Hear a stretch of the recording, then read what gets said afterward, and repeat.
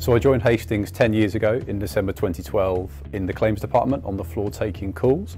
I had the opportunity to join the graduate scheme internally as I had a degree, then moved into the project team to who developed and implemented Guidewire, our new claims management platform, and then had the chance to move into finance. At the time COVID hit, I had the opportunity to take on the claims data teams and then joined the anti-fraud department as the head of policy fraud.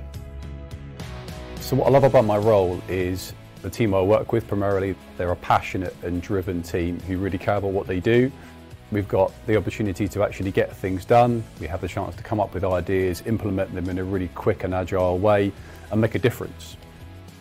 So as an anti-fraud team, what I'm looking forward to this year is implementing a whole array of initiatives to detect and combat fraud in a much more faster and agile way.